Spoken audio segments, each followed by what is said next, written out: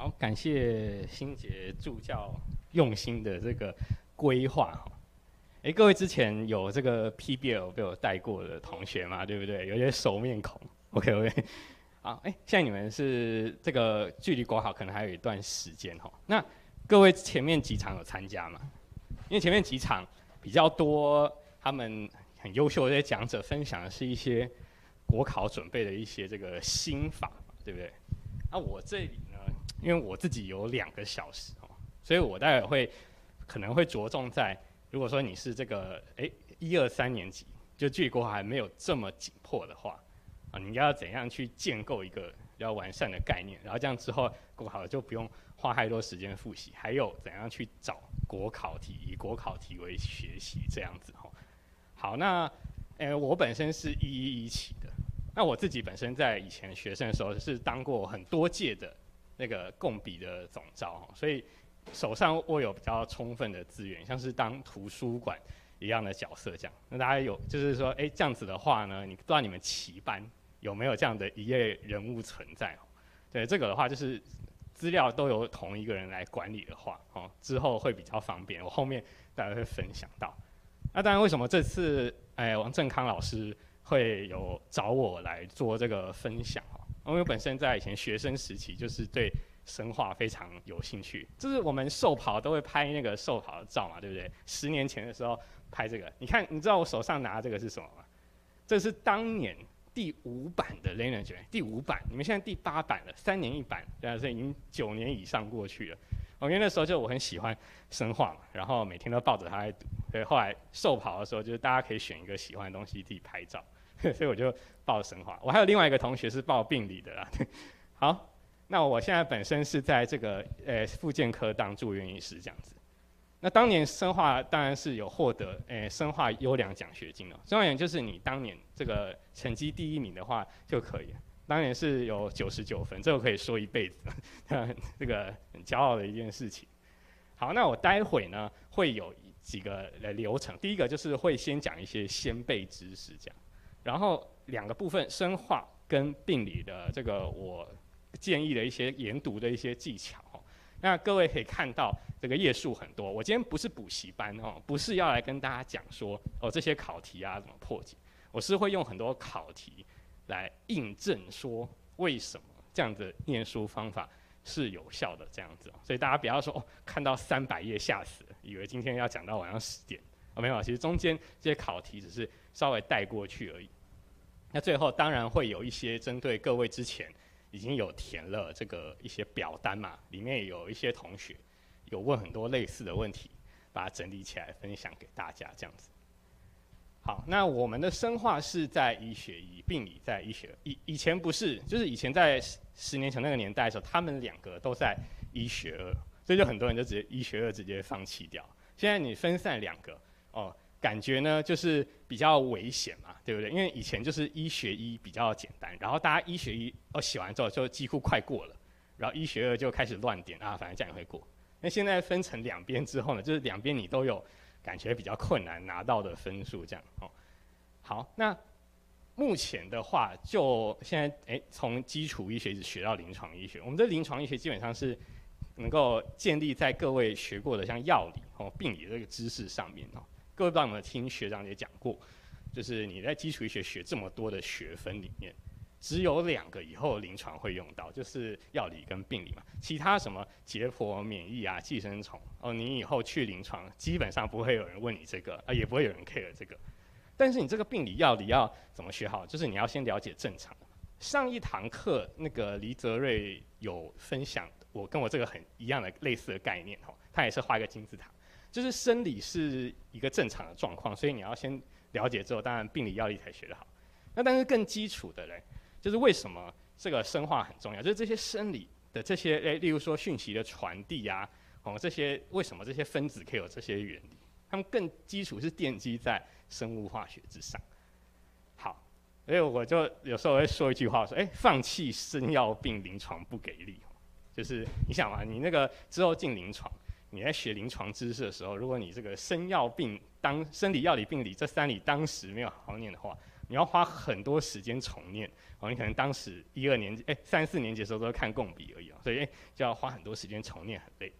哎，但是这只是临床不给力而已啊，你还是可以做临床事嘛。因为在我们临床，大部分都是按照该赖做事，按照指引做事哦。就是说我碰到一个病，我赶快去查这个病目前怎么诊断。各位上过 PBL 嘛？一定是说，哎，这个病目前要查诊断条件是什么，要做什么检查，还是什么，然后最后给什么药。现在因为网络太发达了，哦，这个临床你还是可以混得很好啊，只要说你会查资料，哦，你你记得够熟就都可以。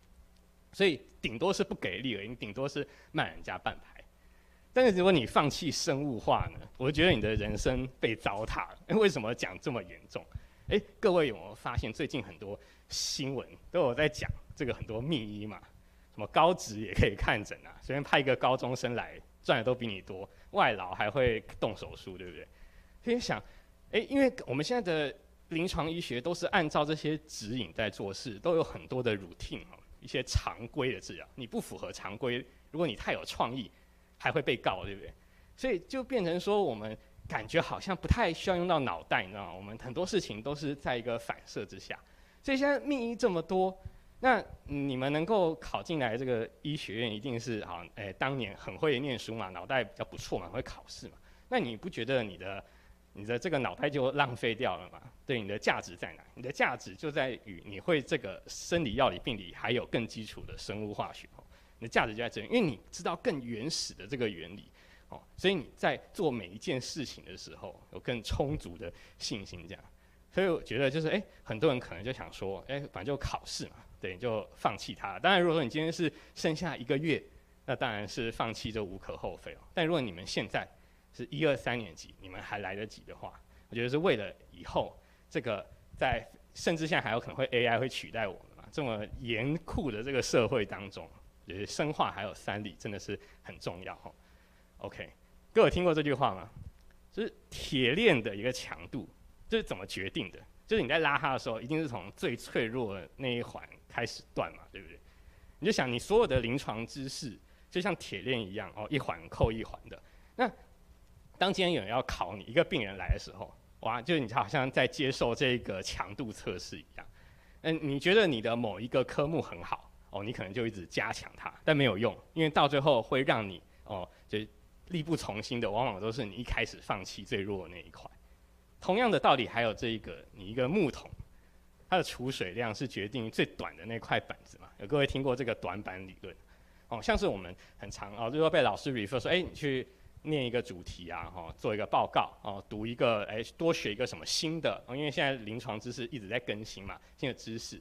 然后你在读那个 paper 的时候，其实很多都牵扯到很多基础的一些这种生化机转的概念。然后你就发现说，哇，这个你现在要吸收新的知识，就好像水桶要把水装进去一样。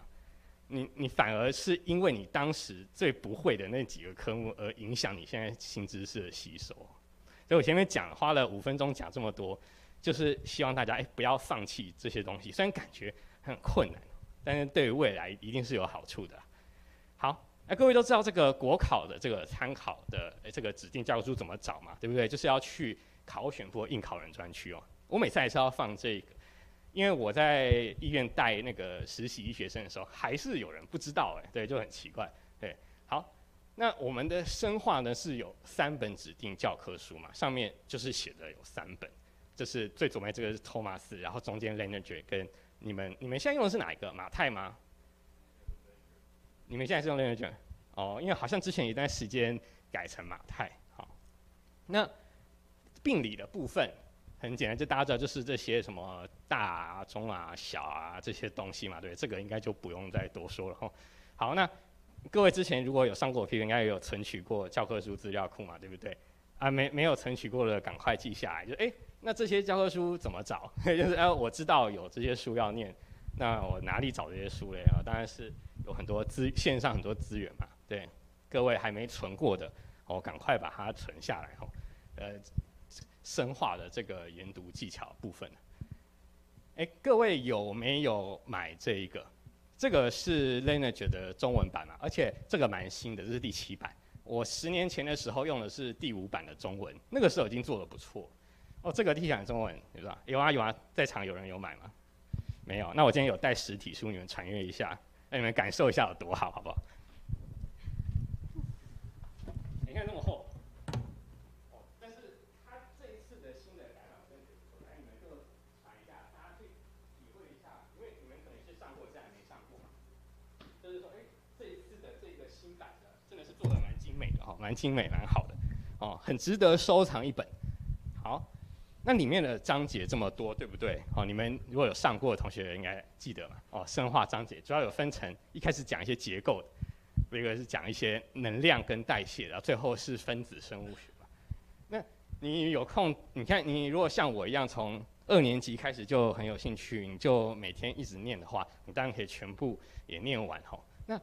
那当啊，当然我现在讲的就是念这个中文版就好了，对不对？因为是 真的你没有什么其他事情做了哈。像我一样，就是我那时候我比较边缘人嘛，没有什么其他事情做，所以我就是中文跟原文一起看这样子。那如果说你们哎比较没有空哦，我们就看这个很美的这个新版的中文就可以了。那如果你真的很忙，你想说不想花这么多时间在这个上面，我嗯，只要看重点就好了。我这边有我 这看这十几年下来，我觉得比较重要的章节呢，我用橘色。那特别重要的就是特别容易出考题的，我画了这个红色的字体。哦，那这个投影片到时候给大家嘛，可以回去对照一下，看看你们觉得我这样子，哎，这些红色是不是真的是重点的地方哦？好，因为我已经不太清楚现在你们在学院上课就是那些章节的比重怎么分配的。那至少我自己的感想是这样子的哈。好，那生物化学的这个 精髓是什么？因为里面都是在讲很多的反应嘛，比如说谁变什么，用什么酵素嘛，对不对？什么反应？所以它整个重要就是在讲机制，最爱考的是这个机制。那所以机制的重点的话，如果你看那个文字就很累嘛。哎，机制的重点就在这个图上面。所以生物化学精髓就是它这本那么漂亮书里面画的每一个图哈。那你就想说哇，那这里面四百多张图怎么读啊？呃，我当年在二零一六年的时候，哇，七年前，那个时候我就是因为我念完了很有心得，所以我把所有的图就是整理成一个 PPT 啊，我发现哇，里面有四百张图哎。然后就有开课啊，然后再然后就是有帮，因为我是一一期跟一一二期这样上课这样子，啊，去详细讲这四百张图，每一张图你只要读会了啊，你知道每张图在做什么，基本上就没问题。这个什么中文版很重要的吧，对不对？你如果看英文的话，你应该看完第一章就没有这个兴致哈。那我觉得这那么多张图要读的方法，可以分成四个面向。我们第一个叫做同一个章节里面的图。要做系列的比较，就是我们现在先专注在同一同一个章节里面。好，现在我接下来每这四个方法，我每个方法会用几个例子来做示范哈。那我们第一个呢，就是要示范酵素动力学还有 DNA 修复的部分。有学过的应该这个记忆犹新吧，对不对？这些都是每年必考的题目嘛，对不对？好像是这个酵素动力学是不是非常常考？这一个啊，什么 Kn？Vmax 的部分，那很多人可能就直接背这个啦。那你这时候如果你手上有那个中文的，你就可以知道说，哎，Kcat 的这一个是谁的反应系数？那 Et 又代表是什么？哦，这 Et 是哦这个 enzyme 的浓度嘛 K K 是说当我的 enzyme 已经全部饱和的时候的那个时候的反应速率常数。对，那你有了这些概念之后呢，你接下来就要去系列比较，接下来这一章节出现的。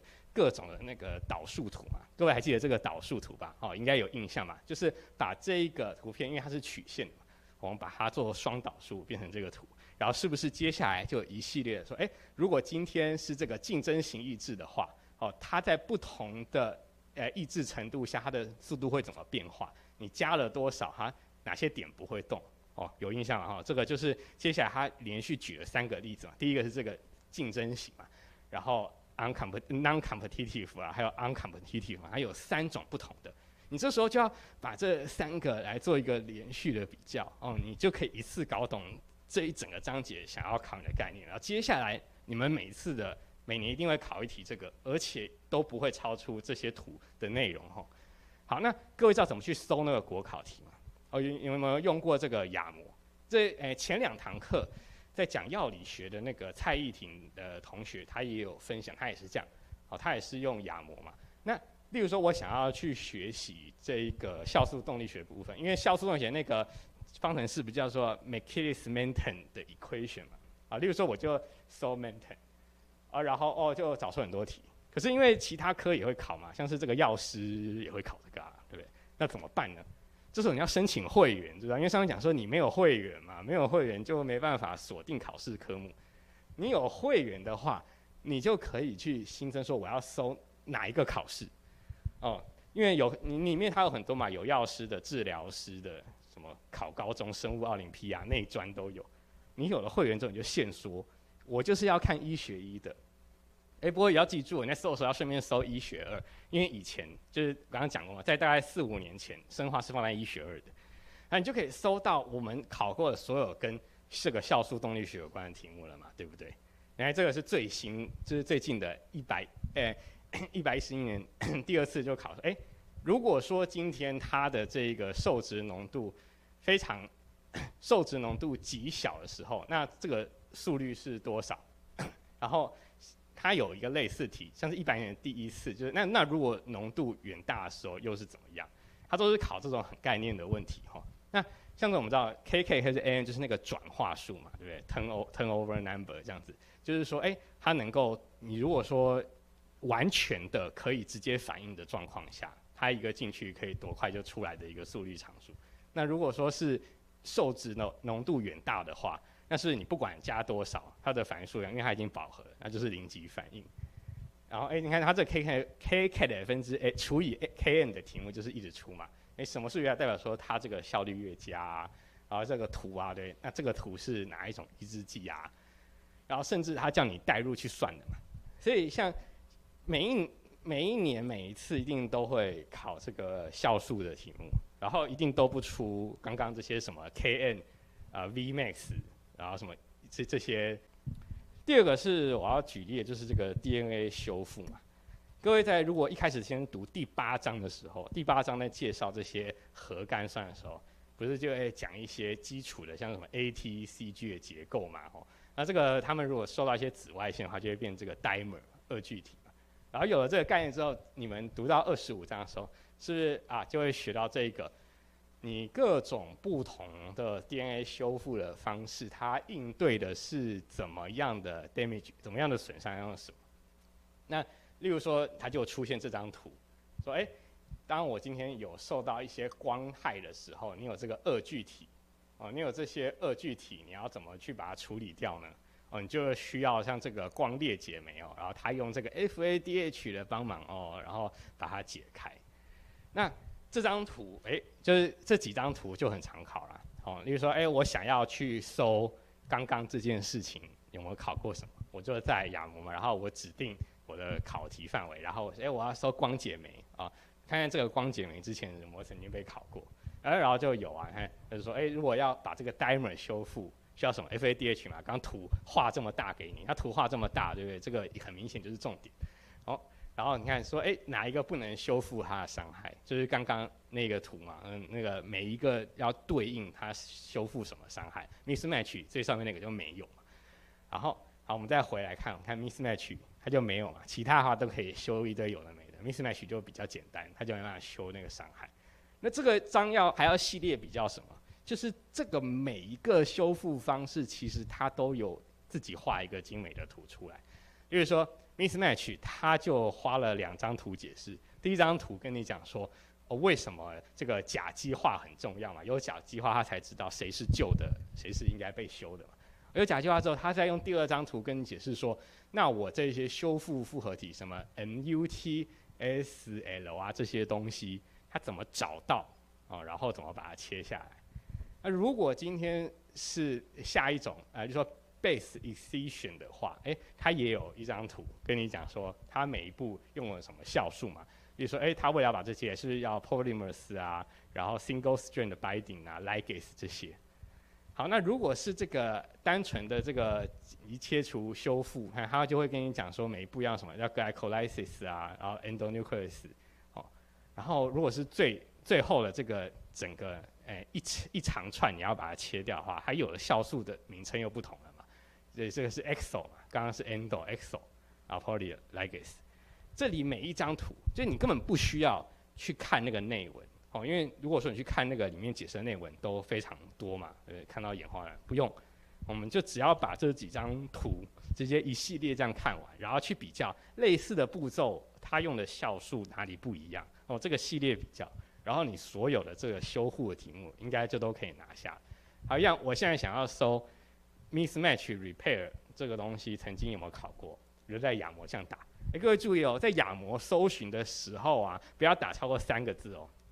打超过三个字，它就会模糊搜寻，然后就会发现找出一堆你不太需要的东西。所以顶多就是两个字，最好能够一个字啊。对，就是你就找一个你觉得最有可能出现在考题里面的关键。你看嘛，来这个很新的嘛，一百零第二次，你看这哎，这个简介来，第一个作用美。如果你刚刚有记得那个图，你第一个你要把那个简介切下来，就是这个 glyco。glycosylase 哦，糖苷酶。好，哎，如果你是要单独切除一个，像这个就蛮智障的哦。啊，这个基本题一定要拿到。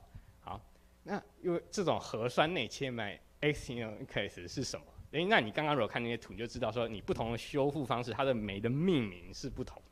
对，你说哦，这个其实是核苷酸切除修复才会用到这一个。好，然后。甲基化酶是干嘛？哦，刚刚第一张图在 mismatch 前就跟你讲，甲基化就是要辨别谁是需要修的嘛。哎哎，mismatch 是要什么？哎，甲基化。哦，然后 哪一个不直接参与？因为 glycolysis 很爱考，刚刚已经考过一次，然后这次是反过来问你，它不参与 mismatch 的。然后还有这个，有时候它可能会搭配一些临床的。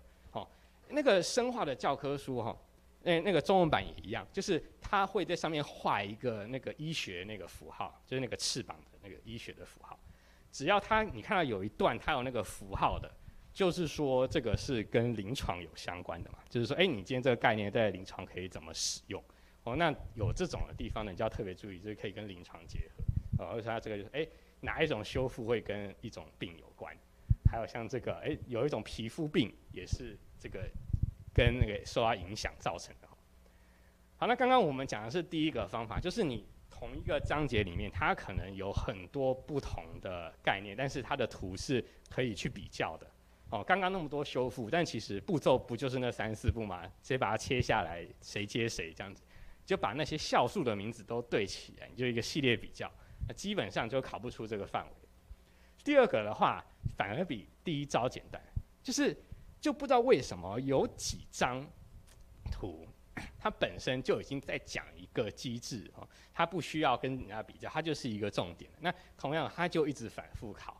那我就拿这两个，一个是同体的生成，另外一个是救命反应来举例。那同体生成，各位应该记得吧？就是同体为什么要有同体啊？哦，因为我们的呃能量不够了，所以我们就赶快肝脏去制造嘛，对不对？然后。产出三种酮体啊，乙烯乙酸、贝塔羟基丁酸跟丙酮，然后就可以去其他的像是脑啊、啊肾脏啊、肌肉去使用。那为什么会有酮体生成？是不是因为他今天可能糖尿病，他的糖糖没办法利用，或是说他饥饿太久了，对不对啊？生酮饮食，饥饿太久了，所以他的这个都拿去糖脂新生的这个草烯乙酸被用光了，然后所以柠檬酸循环进行不下去，所以乙烯酸只好回去去做酮体生成嘛。OK，这个就是这一张图，就告诉你这么多，我根本不用去看前面的那些叙述嘛，我只要知道这张图上面所有的字想要跟你表示什么，为什么他要画这些箭头，一定都有他的理由哈。你看这个，因为它经过那么多的改版，它每张图都已经是最精致化、最重点化的哈。那你看啊，那这个每年同题应该也都会考一到两题啊，哦，哪一个不是？那你如果你刚刚那张图有记得，就知道说它是谁产生的，然后要运送到什么地方嘛。好，谁不是同体？那这个就是更基础了嘛，对不对？好，诶，如果他今天很饿、糖尿病的时候，这个不可能发生，就是它会产生很多同体嘛，对不对？好，B、C 猪，那 丙 丙二烯辅酶的话，它是乙烯辅酶变来的话，啊，它就拿去做同体，所以这个当然没办法升高，那是你有很多能量的时候才会做的事情。哦，然后诶，一直糖尿病的话，它这个同体有一些。ketoacidosis，这是我们在临床你们之后去这个新陈代谢科很常学到的一些糖尿病的并发症哈，对啊，那这个就问你一些原理这样子，对啊，你你这个就真的蛮重要的，因为之后你们去临床，到时候新陈代谢科你又会再被问一样的问题，就刚刚哎这些酮体怎么来的？为什么它会酮酸血症啊这些？好，你看像这 C 选项就错的很明显嘛，什么无法被身体利用，它就是要利用，所以才做出来的嘛。好，好，哎，这个哪一个组织有？对，就是刚刚讲的肝脏。好，第二个我要举的例子呢，就是这个 SOS 反应。这个应该比刚刚的同体生成比较难有印象，对不对？因为这个是分子生物学的，一直以来大家都是比较不爱那个分子生物学哈，所以里面的图更是比较乏人问津。这个 SOS 的反应呢，很经典啊，就是如果说今天有个诶平常细胞没有那么多的修护的激素在循环，那是因为有这个 LEX-A 在抑制它们嘛，哦，让它们不要一直去转录表现出来。那如果今天有一个很大范围的破坏，露出了 single strand，哦，单股被露出来，所以今天这个 REC-A 就可以去结合它，结合它之后就促进了一个蛋白裂解酶的效果，把 LEX-A 给破坏掉，于是就抑制不住了啊，所以所有的修护的蛋白质全部都跑出来，救命反应哦。经过我刚刚这样讲，有没有有一点印象出来了？那这光是这一张图就讲了很多机制，那这么多机制也是超爱考。哦，你看这个，这个一百零七年，这个印象就很深刻，因为我就是，因为当年我是一百零四年考嘛。我们先回到一百，呃，在一百零四年考的时候，这是他第一次出现，然后那个时候就基本上在这之前不太会考，然后就哎，大家好像都没有学过这件事情一样。但是因为我那时候我有看图，所以就只有我会这件事情。对，你看，就这个 SOS 的话。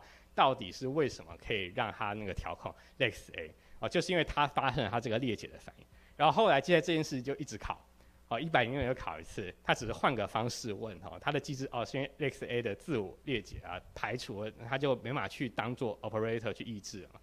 好，然后一百年前又考，哦，它是什么？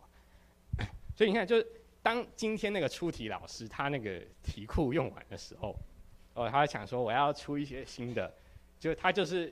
一样，他就是想说哪一个才是重点，他哪有那么多时间去翻你那个书里面的文字，直接看图嘛，图一定是很重要，他才会画成图，对，让他没事画那么漂亮的给你干嘛？人家同一件事就可以一直出。好，刚刚我们呢分享了两个方法，第三个呢是你要去不断联想哦，就有些时候一张图很简单，不像刚刚那个里面有这么多机制嘛，因为什么那个三秒就看完了，你这时候呢反而想说。如果这张图这么简单，那它会考什么？那就是去看一下上面有没有标一些酵素哦，有没有标一些特殊的分子是曾经在其他章出现过的。然后你就去不断的联想，同你从一张图联想到下一张图，哎，又出现一个新的酵素，你就一直去找有没有同样一个反应也用到它的。你这样子的话，你就可以一次复习完超多东西的。我接下来要示范一个，就是说我看到一个追化反应。追，OK 啊，追化反应。那我要怎么去联想？那我待会用到章节非常多，但如果说我待会的这个思路你们能够全部理解的话，基本上你每次考试就可以直接多会两题，因为待会这几张图每年都考两题以上哦，甚至还会考到三题。好，各位知道什么是追化反应嘛？就是。糖这个糖解作用跟糖脂新生，各位一定背到烂掉嘛，对不对？考到烂掉，这个不用讲，也知道已经是重点。那有几个不是说它是一个不可逆的吗？哦，它不是化学平衡的，它是不可逆的反应，所以就必须要从这个排入位回去。那这样回去的时候，它因为不可逆哈，就有几个特别的酵素。第一个是不是？啊，丙酮酸的追化酶 pyruvate carboxylase 嘛，然后变成草烯乙酸，草烯乙酸再经过 PEP carboxylase 变成磷酸新醇丙酮酸。哎哦，我我都一直讲那个中文，因为我就是会一直念那个中文的那本书嘛，所以每一个分子都可以很顺的讲出它的中文。你们也应该要练到这样才行啊！为什么？因为中文才是我们的这个 最熟悉的语言嘛，很多时候都是这样。你说，如果你一直去念它哈，你就会跟那个分子特别熟悉啊。诶，这个很重要，因为有时候我们就是看原文，当然是训练你的这一个以后读原文书的效果嘛。但如果你今天是为了要准备考试，你认真很有这个兴趣热忱的话，你的这些中文的翻译有弱手的话，之后在很多时候你就更容易帮助你联想。例如说，我看到这个唐植新生。我就想到说啊，它的第一个重点就是因为它有一些不可逆的，所以它要用这一个丙酮酸追化酶嘛。那你看到这个丙酮酸追化酶，你要想到什么？你是不是要想到生物素？因为这个酶最重要的重点就是它写在旁边的嘛。我这个酶它要 biotin 嘛，对不对？biotin 是干嘛的？哦，因为进有没有印象？biotin 就是它有一个可以动的一个臂，哦，连接在 lysine 上，它可以把这个呃 CO2 加到你想要的分子上，啊，丙酮酸变成乙烯草烯乙酸，这叫锥化嘛，对不对？好，你那你看到这个生物素，你要想到什么东西？你 你看到这个丙酮酸最后你要想到什么东西？你是不是想到补缺反应？就是你在一个我们的这个 C-H-A-C cycle 里面啊，你如果今天有任何一个东西啊缺少了不见了，让它反应不起来，是不是要从其他地方抓？刚刚这些 c a r b o x y l a s 就出现了哈，这个丙酮酸变成草烯乙酸就是一个很重要的补缺反应嘛，因为草烯乙酸被用掉，这个就进行不下去啊哈，这就很重要，你就想到这个补缺反应，是不是已经从原本的十四章？跳到第十六章的内容了。然后接下来，你刚刚我们讲说想要生物素吗？那为什么这又要放一次呢？因为刚刚那个生物素是第十四章讲的生物素，你说第十六章它生物素还讲了一次，为什么同一件事情它讲两次，而且还画一个更细致的图？因为它现在就要带到一个第十章带个更重要的观念，就是这个生物素它它可以去带这些。机团这样跑来跑去嘛，对不对？他待会接下来就要提有很多其他事情也可以做这个。那我们呢，先回到上一步，就是你看到这个生物素，你还可以想到一个东西，叫做丙烯辅酶催化酶。为什么？因为刚刚我讲的生物素就是去带那个嘛，所以在三碳的脂肪酸分解的时候，各位还记得脂肪酸要两个两个碳拆吧？就贝塔 oxidation 要两个，所以今天如果奇数碳的话，它一定要先加一个碳。怎么加？就是用生物素嘛，加让它追化哈，多一个碳之后，是不是就有这个丙烯，就有这个丙烯辅酶 A 了嘛？那有这个丙烯辅酶 A 之后呢，哦，才能够去，例如说用一些变位酶的方式哈，例如说这个甲基丙二烯辅酶 A 变位酶，把这个碳哎转成 c 是不是就变成一个长链没有支链的四碳，就可以继续氧化。那有丙烯辅酶 A 追化酶，你是不是就应该要想到，那应该也有乙烯辅酶 A 追化酶嘛？对，这就是一个联想。那刚刚我们还在这个第十七章，你又想到第二十一章了哈，因为乙烯辅酶 A 追化酶的话，就是很重要。你一开始要进行这个脂质的合成的时候，你第一步就是乙烯辅酶是原料，你要多给它一个 CO2 嘛，然后它才能变成丙烯辅酶 A，然后才能够进行脂肪酸合成，生物素又出来了。你看生物素就是这么重要。好，那你看到乙烯辅酶追化酶，你是不是还会想到啊吸基载体蛋白？因为在这个脂肪酸合成的时候，脂肪酸合成就是要一个一个往上接嘛，它要从原本的呃这么短的，然后一个一直往上接过去，一直把新的乙烯辅酶加进来。怎么做到？是不是它有一个这个吸基载体蛋白会一直携带它，让它一直延长？那这个吸基载体蛋白的结构也是很长的。它呢，就是刚刚我前面卖的关子哦。这个生物素跟它是都是有一个产品可以让它去吸带，让它弯来弯去，吸带各式各样的基团。那你看它的结构，有这个里面有这个泛酸的这个结构。那你看到泛酸是不是就要想到辅酶 A？辅辅辅酶 A 最常考就是它的这个结构里面有这个泛酸很长哦。整个辅酶有这样，它是有这样的一个组成的。你看辅酶，我们每天就。呃，每次就一直在讲嘛，什么什么辅酶，什么辅酶，但是最基础这个辅酶到底本身是什么？嗯，这个结构在其实在第八章的时候就已经讲过了。好，那你看到这个吸基载体蛋白，你又看到，你又还有你刚刚我们讲这么多次的生物素，就回到第刚刚十六章，它为什么要同要一直在讲生物素第二次？就是他要开始介绍这个生物性细绳嘛。同样的东西你可以，哎。都是生物性细绳，它们呢可能哎都是用 lysine 去连接了一长串，然后可以去做不同东西的转位。那第一个就是这个 E2 嘛，好，那第二个就是刚刚讲的这个锥化酶，还有这个烯基载体蛋白。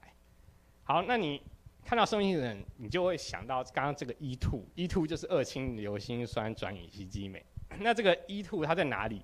是不是在丙酮酸脱氢酶复合体里面？哦，就是在这个 E2 嘛，它就是这个长长的，它负责把这一个啊 CO2 转过来转给乙，让它产生这个乙烯辅酶，让它带走这样子嘛，对不对？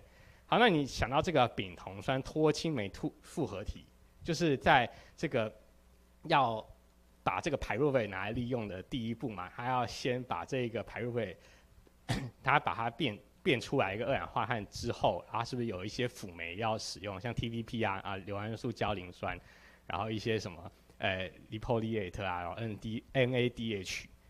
那你看到这些转酶，是不是就会想要脱缩反应？因为它是要把那个二氧化碳拿出来嘛？对，它把那二氧化碳啊这个脱缩反应。那其实同样的脱缩反应有很多类似的都会发生哦。除了刚刚讲的这个呃丙酮酸脱氢酶之外，哦，是不是这个在溶酸循环里面要变成 succinyl 口味这边也是？还有在这个氧化支链氨基酸的时候，也是同样要用到这个。那那这个支链氨基酸的话，就是我们不是有三种嘛，像是白氨酸、异白氨酸跟缬氨酸嘛，啊，它们就是在过程中会产生这个有支链的，所以就需要这一个哦支链的 alpha keto acid dehydrogenase complex 这一个阿尔法酮 阿尔法酮二酸脱氢酶去处理。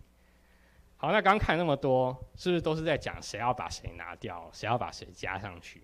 那你是不是就想到很多各式各样的载体辅酶？biotin 就是刚开始讲，第一个它就是吸带二氧化碳嘛。那在第六张校色的时候，其实这张图就已经跟你讲了，你不同的东西要带什么样的基团。那这个当然是考试重点。例如说，刚刚讲 TPP 啊，焦磷酸、硫胺素焦磷酸，它就是要吸带这个醛基哈，活化的醛基啊。叶酸就是单碳嘛，哦，然后这个什么这 lipoate 就是刚才 E2 里面的就是转吸基。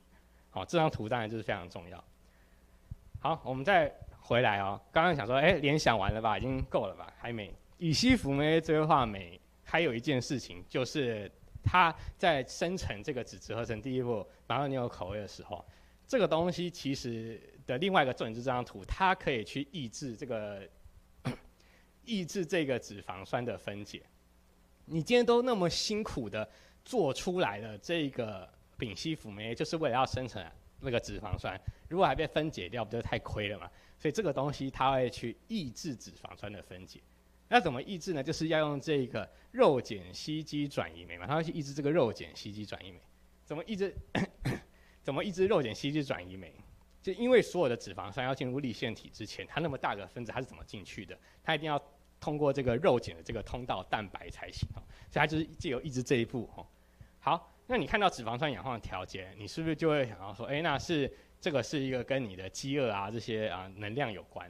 前面这张图是会讲说，如果今天你是一个低血糖的状况，你产生了这个升糖素，那升糖素就会有 PK、AMPK 的反应嘛，它可以让这个。乙烯辅酶追化酶去活化，它磷酸化就去活化哦，所以就抑制了这一步。所以当你在很饿的时候啊，我们就不会再把能量拿去生产脂肪酸，应该是赶快的把脂肪酸拿来用嘛。好，那一样的，你看到这个脂肪酸氧化调节，你就想说，那升糖素是怎么去促进它把这个脂肪酸将它叫出来？它会在脂肪细胞上借由这个 hom 呃这个激素敏感脂肪酶。把这个叫它脂肪酸从这个脂肪小滴上面叫出来。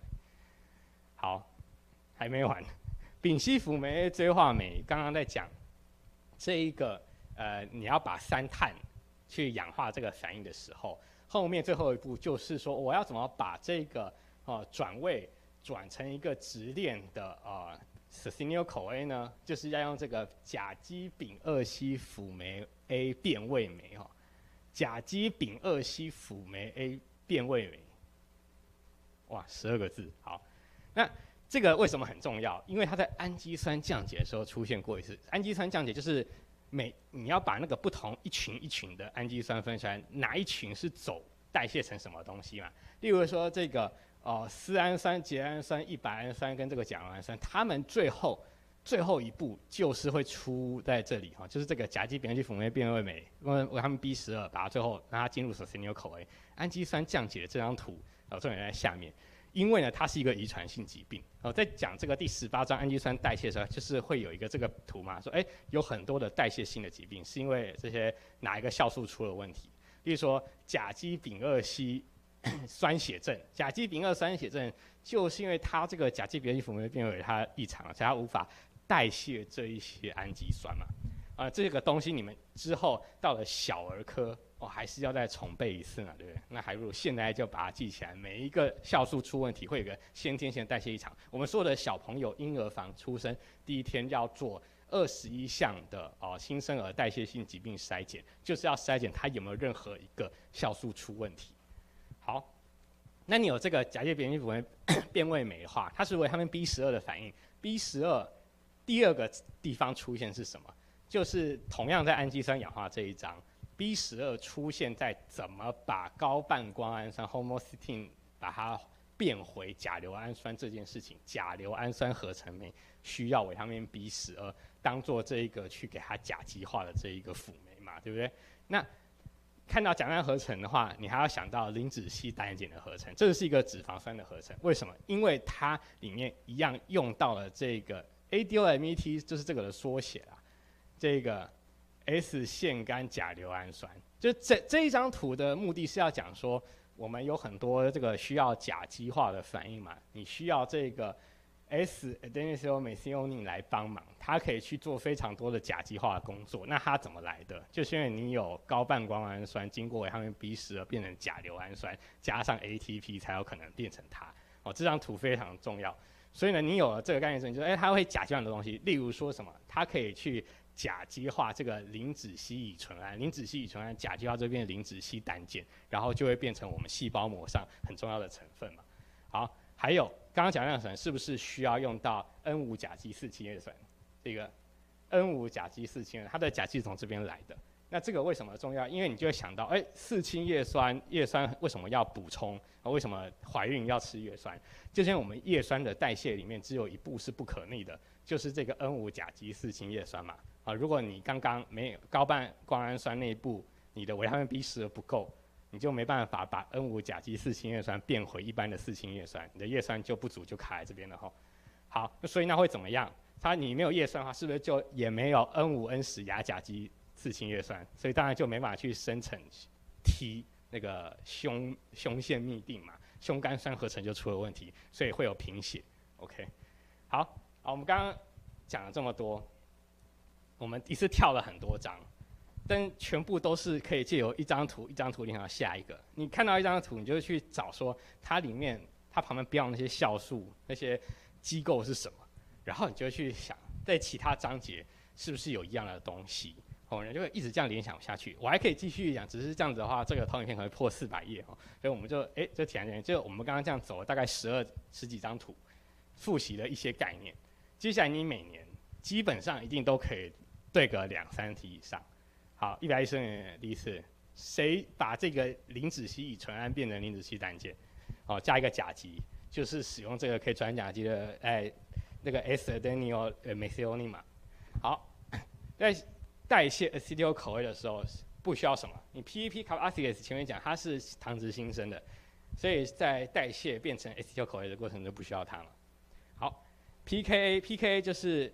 刚刚我们在讲脂肪酸合成的时候，不是说，哎，你升糖素，然后，哎，哎，这个 CMP，然后 PKA 这样，所以它应该是促进这个脂肪酸的代谢哈。所以你看，猪选项明显就不错，就就就错了，它是结合 CMP 去活化。好，哪一个人不能够当做这个碳基的传送者？刚刚那个表格嘛，对，很多人都可以去传送一些基团。当然，我们的猪选项这个 磷酸。这个叫什么？诶，P P L P 这个东西它是转氨基的，跟碳没有关系哈。好，诶，磷酸 P 多醛，OK。好，糖脂新生的话，你看它叫什么时候？是不是那些催化反应？催化反应的酵素，那两个最爱考。好，同半胱氨酸 homocystine 他刚刚讲过，他是转成这个甲硫氨酸，所以如果缺乏那个酵素，会有同半胱氨酸尿症嘛，对不对？我他们叶酸 B 十二这样，它是 methionine 变来的嘛，对不对？诶，各位看一下这一题。一这个 homocysteine urea 它拼错了，就是没有那个 e 啊。然后现在基本上国考生父错字已经没有用了，就以前可以，但是近几年的话，你生父那个错字基本上都不会让你过。那时候就想说他这个打错还是生父，他还是一样没送分。好，你看刚刚不是我们有讲这个辅酶的结构里面有泛酸，然后的错误，它里面是 里面没有那个 ADP 跟 CT 的结合，你看那个结构就知道里面没有 CT 嘛。好，支链氨基酸。刚刚是讲我们支链氨基酸代谢会有什么蜂糖尿症那些东西，哦，所以它是硫辛氨基酸跟马利南，还有它这个一开始这种最基本的谁是分支氨基酸就错了。好，谁最化排的 CO2 讲了讲到烂掉就是生物素嘛。这个刚刚我们讲丙酮酸去氢酶那个复合体，它会放出什么东西？就是第一个先把 CO2 拖出来，然后产生乙烯辅酶，最后用 NADH 再 E 三，对。好，谁跟调控脂肪二氧化反应最低？我们刚刚那张图就是，哎，丙烯辅酶去抑制肉碱吸积那张图有没有？STO 口有出现，CMP 有出现，啊，丙烯辅酶当然要出现，跟 NADPH 一点关系都没有哈。好，那谁缺乏？就是 B 十二嘛，刚刚讲它没办法产生 T 嘛，那产生胸腺嘧啶，所以贫血。好，哎，谁不是？呃，会用到的那口碑的，刚刚那个一万一 two 一三的那个各种辅酶，就是没有磷酸 P 多醛嘛。好，然后你看这个 TVP 这个硫胺素焦磷酸，在这个催化反应第一个是什么？它是携带活化的醛基哈。好，然后 tyrosine 并非 tyrosine 产生。那刚刚我们不是一直在强调说这个 S-adenyl 是甲硫氨酸产生，那跟 tyrosine 一点关系都没有。好，然后这个呃七醇呃不是基 基醇转移酶。是跟脂肪酸代谢有关嘛？这四个选项也只有一个选项有脂肪酸。好，等这个说，哎，这个，哎，在这个 ACTO 口 A 的这个卡 S 在脂肪生成或者错误？它叫马龙油口 A 啊，然后它里面为什么 AMP 上升的时候就有什么活化 AMP？就是刚刚在图里面有了嘛？那这里面就是没有 NADH，啊，生物素缺乏就是没办法催化反应嘛？哦，谁不产生二氧化碳？啊，刚刚我们不是讲说很多脱碳的反应嘛？什么 alpha keto 呃，阿法酮二酸脱氢酶啊，丙酮酸脱氢酶是它们的反应都很像，都是要脱掉一个追基嘛，对不对？就是里面的举例，就是没有这个 B 选项哈。好，你看这个，哎，最后产生三碳，要怎样才能够进入使用？是不是要先把它变成 succinyl CoA？哦，那 B one 都复合体。好，四氢叶酸是善于哪一个合成？刚刚是讲就是 methionine。好，脂肪酸合成的限制步骤就是刚刚第一个变美人纽口 A 那边，因为它是重要调控点。那谁不参与刚刚那个什么一万一 two 以上的反应？那个时候叶酸就没有在土里面发生嘛，对不对？啊，甲基丙二酸酸血症就是那几个氨基酸代谢会出问题，isoleucine 就是其中一个。那个氨基酸代谢哪一个会变成什么就很重要啊。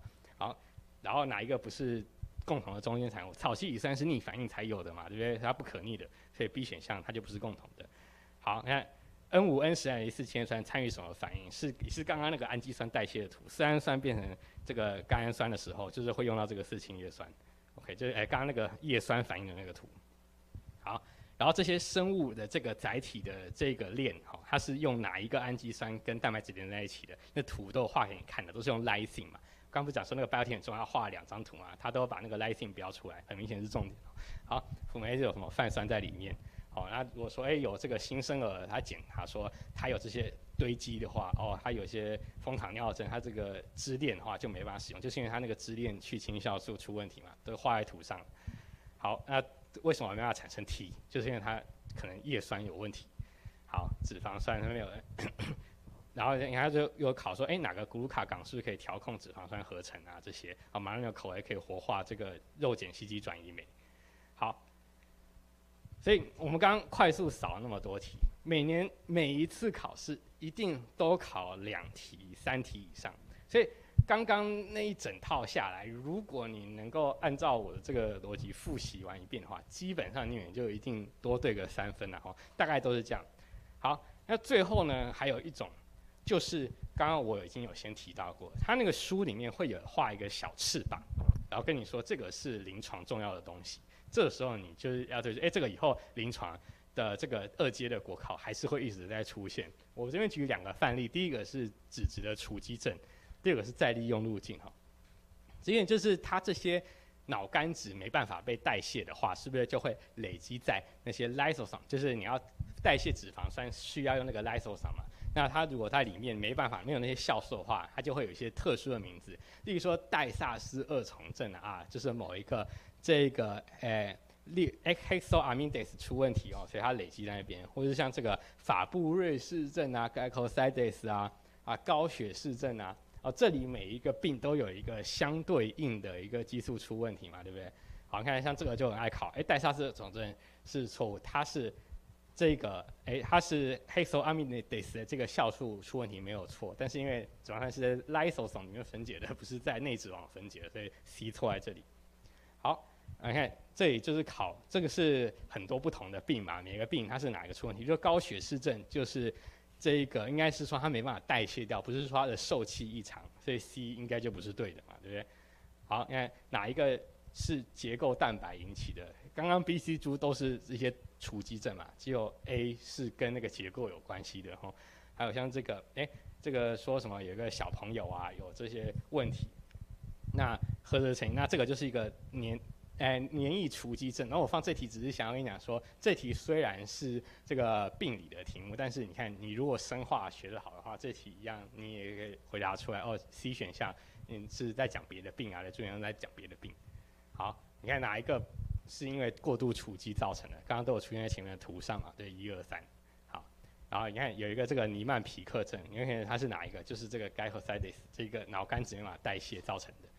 好，戴森二人一直考，它是 h e x o a m i d a s 嘛，所以不是 g y c o s i d e s 的缺乏。好，所以像这一种就是它是一种临床的疾病的话，那就一定是重点啊。它那个缺少哪一个，所以会有什么样的病名这样子？那第二个就是我们讲这个。在核苷酸的这一章章节啊，它不是讲说每一个核苷它要怎么去代谢嘛？哦，例如说我们的这 AMP 跟这个 GMP，它是要走变成黄嘌呤，黄嘌呤要变成这个呃，URACE 要排出的话，必须要这个 XO，XO 就是这个黄嘌呤氧化酶嘛 s e n s a n oxidase。那我们是不是就有发明像是 allopurinol 这种药物去防止这个尿酸的生成，降尿酸的药物嘛？对？那这个就是跟临床很有关系的嘛？你看它的这章节里面就画了一个翅膀，它认为哎，这里有个叫做尼氏奶罕症候群的，因为这个病呢就是跟它的再利用路径有关哈。那再利用路径的话呢，就是这个，哎，色黄嘌呤鸟氨酸磷酸核糖转移酶，这个酶如果出问题的话，它就没办法让这一些啊，呃，这个呃黄嘌呤跟这个你原本就有的 PRPP 结合，然后回收利用嘛。那所以有这些病的话呢，你就会产生很多的这个新的尿酸哦。那所以你看这个这题就是会一直很常考，哎，哪个跟尿酸堆积跟痛风发生很有关系啊？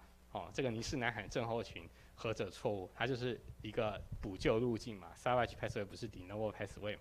啊，它会很多的尿酸啊，缺乏什么酵素啊？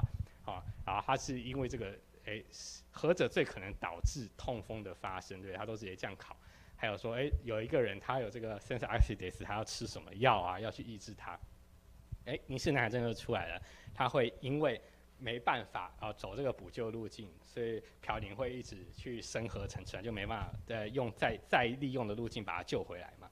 哦，然后痛风 allopurinol 的话，为什么它不能够直接是发炎反应？它是在那个舒缓的时候用的，它不是急性期的时候，急性抑制发炎还是要用 NC 的类的。好，你看这这个这一病症是一考再考哎，那就是没办法用 salvage pathway 嘛。好，如果是这一题我会放的话，是因为他把这个选项出在他他把这个销出在选项里面。他实际上这题是在考血友病会影响 APTT，只是说你看这是临床哦，这是医学四哦。你以后到了那个小儿科，你又要学一堆的这种遗传疾病，然后到时候你又要花时间去想，那这个 B 选项酵素是什么？如果你一开始生化学的好的话，这里你就直接秒杀了。对，好。那，哎，我们刚刚就把所有的这个我觉得生化图片阅读的方法稍微介绍了一下。各位有拿到这个答案过吗？有没有传承到你们这一届？就是在刚刚讲说有那些小标志的哦，就是生化的里面有临床重点的小标志，就是它是跟一个疾病有关嘛。那很多时候那个人民疾病，像刚刚那个尼氏南罕症候群，都不知道它在干嘛，对不对？所以我就整理一个所有的人名。以人名为命名的疾病，那里面当然不只是生化，因为病理更多嘛，内科更多哦。如果说这是生化有提过的，我有做一些颜色的标示，各位可以来拿来参考一下。好，那我们再来复习一次。整个生化，我觉得最重要就是它这个机制，所以它已经把它画成一个很精美的图了。你更应该去好好读这些图。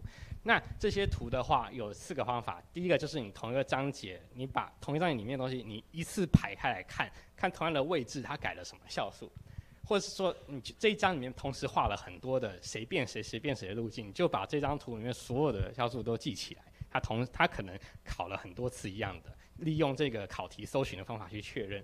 然后不断联想，你看到一个，你要去想想看，这个酵素是不是有在其他地方出现过，一起复习跨章节的复习。最后就是如果有临床的标志，你一定要知道这个是由哪个病造成的，要结合临床。那分子结构图重要不重要啊？根本是现在不是考有机化哦，不是有机化，你不需要有些图它是画给你看，说它我们目前的电子显微镜啊，或是已经找到它的结构怎么样，那真的不重要，分子结构不重要，反应机构就是也是有机化的东西嘛，什么哪一个氧供给哪一个碳，所以它可以共振什么的，那个你很有兴趣再看就好了，你根本不需要知道有机化的反应机构是什么，重要的是什么？就是这张图如果有画出各种辅酶辅因子，还有它的临床意义，这个才是重点嘛，对不对？好，OK，那如果说他考的题根本就不是在图上的，它是在内文里面的那种，没有图怎么办？你就是记住考试的诀窍嘛，三长一短选最短，三短一长选最长。如果还是答错的话，它是用内文出来的。它不是从图出来，代表说这件事情并不是很确定，所以它没画成图。可能就是老师看到教科书一段文字，他把它引翻中，他可能没有时间去看上下文。这种时候就很有机会可以生负过。我印象最深刻就是去年的这一题，好，这个东西说为什么这个蛋白质可以镶嵌在膜上是靠哪一个人帮忙的？这个东西完全没有任何一张图讲到这个，完全没有，纯粹只是因为教科书里面有一段话讲 translocon，它可以。哦，帮助这个蛋白质它经过这个内质网，然后让它折叠出里面疏水性的螺旋的地方，让它之后可以更好的镶嵌于膜上。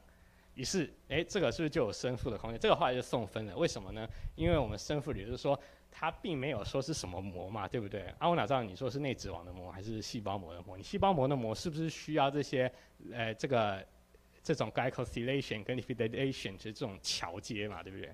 你看这种单纯靠内文，你没有一个明确的图的话，不是一个很明确。你那个蛋白质，你随便上网搜一堆人新的研究，跟你讲蛋白质有什么其他的功能，马上就可以去生复成功。